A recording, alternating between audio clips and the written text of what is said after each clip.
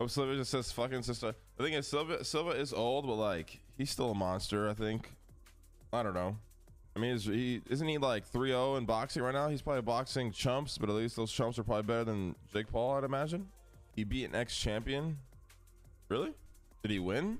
Yeah, he beat. Okay, so how old was the guy that he beat though? Was he old as well, or he's like an actual young, like decent boxer? He was 35. 30, 30s is like still kind of prime for fighting though, right? 25, 32, prime, 35, kind of old. Okay. I don't know, man. Like Anderson Silva was such a monster though, bro. Obviously, like age will affect that, but I still feel like he still got it. You know what I mean?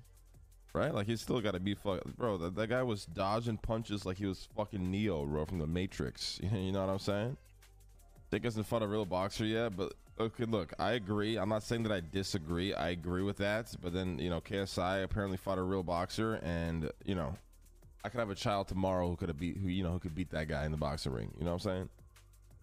Now, not that I disagree, because I agree, but I mean, obviously, I don't know, man. Anderson Silva's old, but maybe I'm just biased because I he's one of my favorite fighters of all time.